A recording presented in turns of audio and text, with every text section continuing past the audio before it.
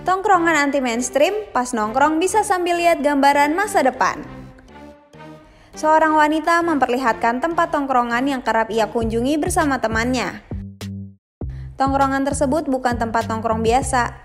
Tempat tersebut membuat publik ngeri. Penampakan tempat nongkrong tersebut dibagikan oleh akun TikTok @adaapaya ini. Dalam video tersebut, wanita itu memamerkan suasana tempat nongkrong miliknya. Dia dan temannya kerap menggunakan tempat tersebut sebagai tongkrongan. Padahal suasana tongkrongan tersebut tampak sepi dan sunyi.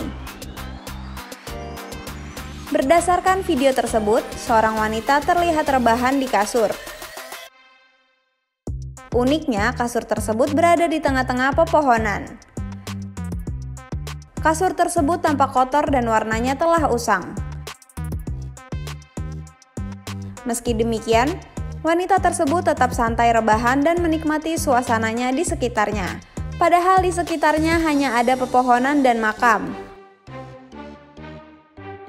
Usut punya usut, tongkrongan tersebut merupakan sebuah makam. Ya, mereka nekat menjadikan kuburan atau makam sebagai tempat nongkrong sehari-hari. Suasana kuburan tersebut tampak sepi dan sunyi, Namun banyak pepohonan rimbun yang membuat suasana terlihat teduh. Kedua wanita tersebut terlihat biasa saja dan tidak merasa takut nongkrong di kuburan saat siang hari.